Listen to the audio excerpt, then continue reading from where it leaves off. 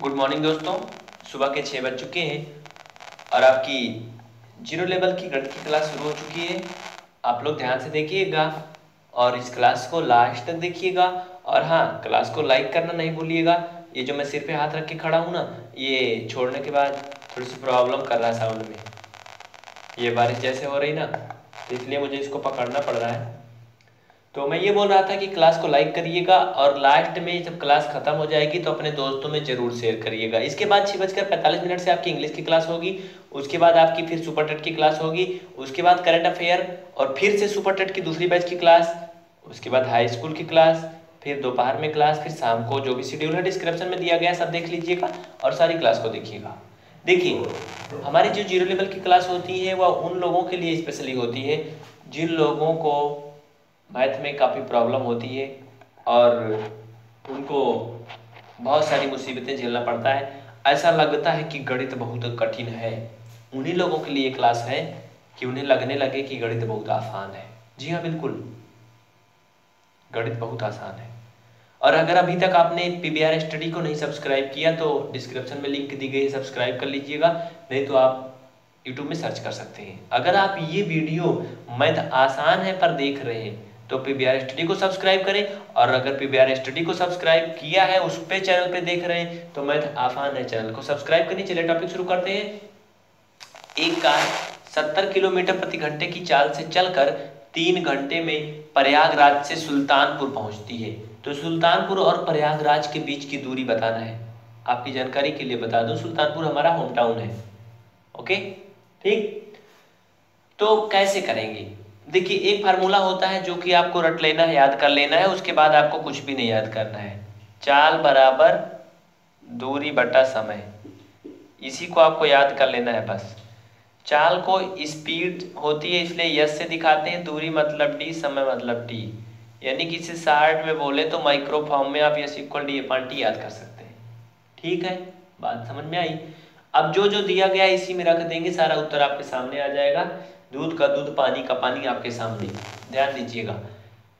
Car 70 kilometre प्रति घंटे की चाल से चल रही इसका मतलब इसकी चाल कितना है? 70 किलोमीटर है। देखिए, हमने चाल की जगह पर 70 रख दिया। अगर नहीं समझ में आएगा तो बताइएगा। नहीं आ रहा होगा ना? हाँ बहुत लोगों के हवा बह रही है लग रहा है। देखिए, मैं इसको अच्छे से लिखता हूँ। ध्यान दीजिएगा। नीचे दिख रहा है ना? नहीं दिखेगा तब भी बता दीजिएगा, बिल्कुल। देखिए, चाल दिया है सत्तर तो हमने रख दिया चाल के नीचे सत्तर। दूरी। दूरी तो बताना है तो दूरी को क्या लिखेंगे? दूरी लिखेंगे। समय तीन घंटे में ना, तीन घंटे में पहुँच रही है। तो ये हो गया तीन घंटे। इसी को हल करना है। तिरछा गुड़ा करेंगे, तीन का गुड़ा सत्तर में और एक का गुड़ा दूरी में तो दूरी कम ही हो जाएगा। दूरी और सात का गुड़ा जब हो जाएगा सॉरी तीन और सत्तर का गुड़ा हो जाएगा तो ये कितना हो जाएगा? सत्तर गुड़ा तीन। जिन लोगों को गुड़ा करना नहीं आता, उनको मैं बता दूँ, ज़ीरो लिख लो, तीन का साथ में गुड़ा कर दो 210 क्या आ गया?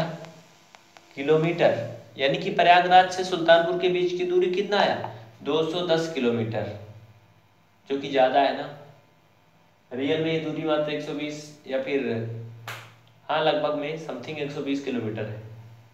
तो इससे नहीं मतलब है, यहाँ पर सवाल में क्या आ रहा है? समझ गए तरीका ना?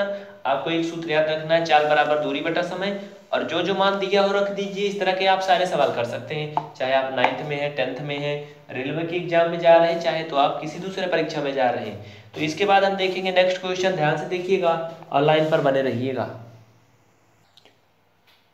इसी सिलसिले में अगला सवाल आपके सामने आ चुका है, जिसके ऑप्शन भी आपको दिख रहे हैं, और जल्दी से आपको कमेंट कर देना है, फट से आगे बढ़ना है। राइट आंसर आ गया। आगे चलूँ, ध्यान दीजिएगा। एक साइकिल 30 किलोमीटर प्रति घंटे की कुछ गड़बड़ हो रहा है है ना? एक साइकिल 30 किलोमीटर की दूरी को दो घंटे में तय करती है, पूरा करती है। तो साइकिल की चाल ज्ञात कीजिए। साइकिल है भाई, बहुत सी तेज़ी साइकिल चलती है। रेंजर मॉडल की ना देखते होंगे आप लोग? तो वो सब 40 की स्पीड में वैसे भी चलती है। तो ये तो 30 किलोमीटर की दूरी को तय कर रही है, दो घंटे में बहुत धीरे चल रही लग रहा है, पुरानी है। कितने देर में पूरा करती है? दो घंटे में। तो साइकिल की चाल निकालना है। आपको सिंपल में ये सूत्र लिखना है जो हमने आपको रटाया था। चाल बराबर दूरी बटा समय। जो जो दिया रख देना है। तीस किलोमीटर की दूरी, यानी कि तीस किलोमीटर दिया है, समय दिया है दो घंटे। चाल तो हमें निकालना ही था, आपकी तो बिल्कुल सीधा सीधा है। तो चाल बराबर क्या हो जाए? ये पंद्रह आ जाएगा ना। यानी कितना हो गया? पंद्रह। ऐसे नहीं। पंद्रह किलोमीटर प्रति घंटे की चाल से वो साइकिल भाग रही है। हो गया ना? अगला सवाल पे चलूँ। ध्यान दीजिएगा।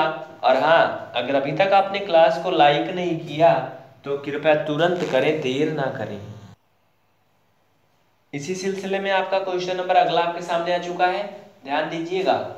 एक साइकिल 130 किलोमीटर की दूरी को दो घंटे में पूरा करती है, जो 30 था, ना अब 130 हो गया। अब आप लोग बताएँ, कितना चाल होगी उसकी, साइकिल की? कितना साइकिल की चाल होगी? अरे भाई, वही सूत्र लगा देना सिंपल में। चाल बराबर, दूरी बटा समय। दूरी कितना है?